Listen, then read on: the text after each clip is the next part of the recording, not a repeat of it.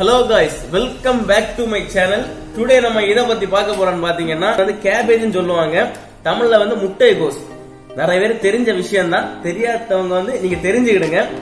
இதை வந்து இன்னைக்கு நாலுல ஒரு பங்கெடுத்து நான் சின்ன சின்ன பீஸா கட் பண்ணி இதை வந்து நல்ல டேஸ்டான ஒரு பொரியல் ரெடி பண்ண போறேன். அதுவும் நைஃப் இல்லாம இதை வச்சு நான் கட் பண்ண போறேன். எப்படி எந்த மெத்தட்ல நான் கட் பண்ண நீங்க யோசிக்கலாம். மேக்கிங் வீடியோக்குள்ள போய் ஸ்கிப் பண்ணாம லாஸ்ட் வரை பாருங்க. உங்க இதுக்கு என்னெல்லாம் பொருட்கள் நான் எடுத்திருக்கேன்னு பார்த்தீங்கன்னா ஒரு பெரிய வெங்காயம் அதுக்கப்புறமா மூணு பச்சை மிளகாய் நெக்ஸ்ட்டு வந்து நாலில் ஒரு பங்கு கேபேஜை கட் பண்ணி எடுத்துருக்கேன். அதை பார்த்தவங்களுக்கு இது ஃபுல்லுமே லீஃப் தான். அப்படி அடுக்கி வச்ச மாதிரி ஒரு சூப்பரான ஒரு இருக்கும். இந்த கேபேஜை தான் நம்ம வந்து எப்படி கட் பண்ண போகிறோம்னு பார்த்தீங்கன்னா அந்த டம்ளர் இருக்கு இல்லையா? அந்த டம்ளருக்கு அந்த விளிம்பு வந்து ரொம்ப ஷார்ப்பாக இருக்கும். அதை வச்சு தான் நம்ம இன்னைக்கு கட் பண்ண போகிறோம் வாங்க இதை எப்படி கட் பண்ணுறதுன்றத பார்ப்போம்.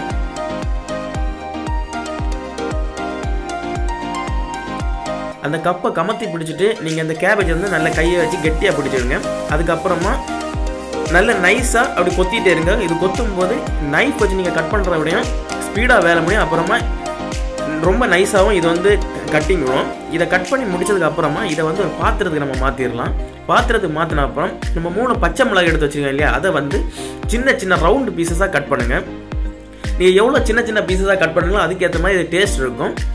இந்த சில்லியை நீங்கள் கட் பண்ணி முடிச்சதுக்கப்புறமா இந்த பெரிய ஆனியன் எடுத்து அதுக்கப்புறமா சின்ன சின்ன ஸ்லைஸ் ஆட்டு கட் பண்ணிக்கிடுங்க.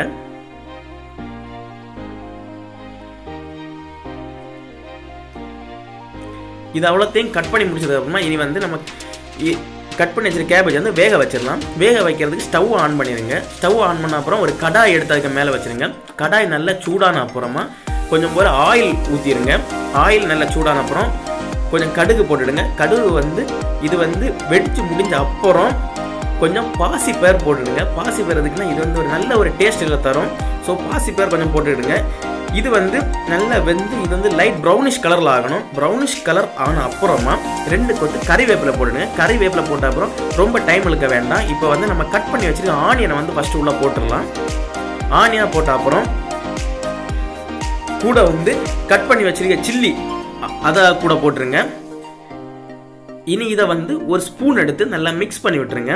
மிக்ஸ் பண்ணி விடுறதுக்கு முன்னாடி இதில் வந்து கொஞ்சம் உப்பு போட்டு இந்த ஆனியனை வேக வைங்க. ஆனியனுக்கு வந்து நீங்கள் உப்பு போட்டிங்கன்னா தான் இது வந்து நல்லா ஸ்பீடாக வேகும். இதை வந்து நல்லா மிக்ஸ் பண்ணி விட்ட அப்புறமா இனி வந்து இந்த ஆனியன் வந்து லைட்டாக ப்ரௌனிஷ் கலர் ஆகிட்டு இனி இதுக்கப்புறமாட்டு நம்ம கட் பண்ணி வச்சிருக்க கேபேஜ் பீசஸ் வந்து இதில் போட்டுடலாம். இதை பார்த்தவங்களே ரொம்ப அழகாகவே இருக்குது இனி இதை வந்து ஸ்பூன் வச்சு நல்லா கிளறி விட்டுருங்க. இது எதுக்காகனா அந்த ஆயில் வந்து எல்லா பீஸுமே பிடிக்கணும். அதுக்காக நல்லா ஸ்ப்ரெட் பண்ணிவிட்டு அதுக்கப்புறம் ரெண்டு நிமிஷம் மூடி போட்டுருங்க. இப்போ வந்து ரெண்டு நிமிஷம் தாண்டிடுச்சு. இப்போ ஓப்பன் பண்ணி பார்ப்போம் எப்படி இருக்குன்னு பார்ப்போம். இது ஓப்பன் பண்ணி பார்த்தாலே உங்களுக்கு தெரியும். முன்னாடி இருந்ததோட இது வந்து கொஞ்சம் வாடெல்லாம் நல்லா வசங்கி போயிருக்கு. இனி இதுக்கு மேலே வந்து நம்ம ரெண்டு கைப்பிடி அளவு துருவி வச்சுட்டு தேங்காய் போட்டுக்கலாம். தேங்காய் போட்ட அப்புறம் கொஞ்சம் மஞ்சள் தூள். இது வந்து உங்களுக்கு தேவைன்னா போட்டுடுங்க இல்லைன்னா வேண்டாம். நான் வந்து கொஞ்சம் போட்டுக்கிறேன். இதை வந்து நல்லா மிக்ஸ் பண்ணிடுங்க இதை நல்லா மிக்ஸ் பண்ணும்போது லைட் எல்லோயிஷ் கலர் ஆயிரும். இதை வந்து லோ ஃப்ளேம்ல வந்து ரெண்டு நிமிஷம் வேக வச்சுட்டு இதை வந்து தட்டுக்கு மாத்திருங்க அவ்வளவுதான் மேக்கிங் வீடியோ நீங்கள் வந்து மேக்கிங் வீடியோ பார்த்துருப்பீங்க. மேக்கிங் வீடியோ முடிச்ச அப்புறமா ஈட்டிங் செக்ஷனுக்கு வரலாம். நான் வந்து சாப்பிடல ரொம்ப ஆர்வமாக இருக்கேன் இன்னைக்கு. அது முடிச்சுட்டு வந்தாச்சு. இதுக்கப்புறம் நான் சாப்பிட என்னெல்லாம் எடுத்துட்டேன் பார்த்தீங்கன்னா ஒயிட் ரைஸ் அப்புறமா பார்த்தீங்கன்னா முட்டை கோஸ். அதுக்கப்புறம் பருப்பு கறி. நம்ம மேக் பண்ண டிஷ் இது மட்டும்தான். ஃபர்ஸ்ட் வந்து நம்ம மேக் பண்ண ரெசிபியை வந்து தனியாக சாப்பிட்டு வரீங்க. எப்படி இருக்கு பூ மாதிரி இருக்கு பார்த்தீங்களா ஓகே இதை ஃபர்ஸ்ட் தனியாக சாப்பிட்டு பார்ப்போம் எப்படி இருக்கு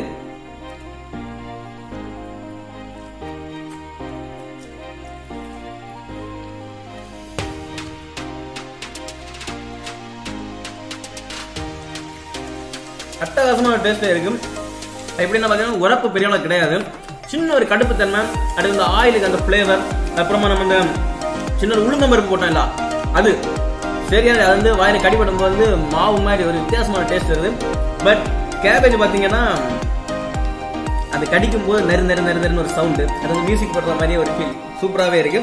ஓகே கைஸ் ரைஸ் கூட ஃபர்ஸ்ட் பருப்பு கறி மிக்ஸ் பண்ணி அதுக்கப்புறமா இதை நான் அதில் வச்சு சாப்பிட்டு அது எப்படி இருக்குன்னு சொல்றேன்.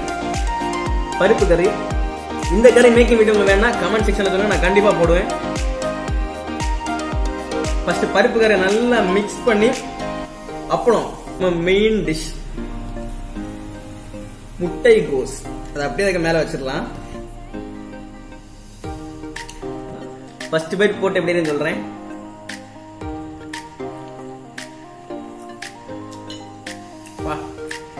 பருப்பு கறியோட எது வச்சு சாப்பிடணும் அவ்வளோ டேஸ்டா இருக்கு.